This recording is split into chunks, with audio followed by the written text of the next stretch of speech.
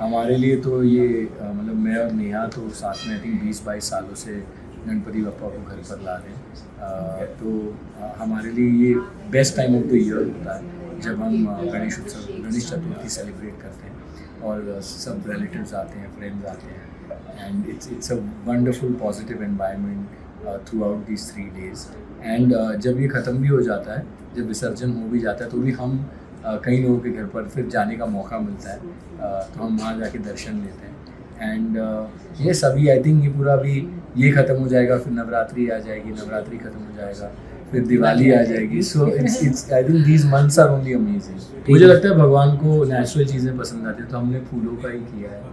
और अ, सबने बहुत सबको बहुत पसंद भी आया।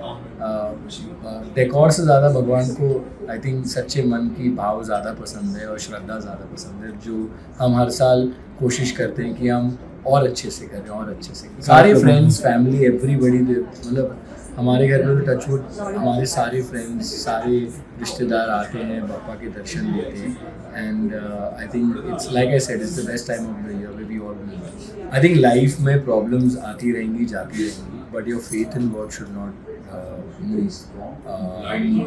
ऐसा हो नहीं सकता कि uh, आपकी लाइफ में कोई प्रॉब्लम्स आए ना लेकिन अगर आप यू नो उन पर विश्वास करते हैं तो उसका असर जो होता है ज़रूर कम होता है और वो आपको स्ट्रेंथ देता है कि वो जो प्रॉब्लम्स आ रही हैं उसको आप स्ट्रांगली जो है यू नो फेस करो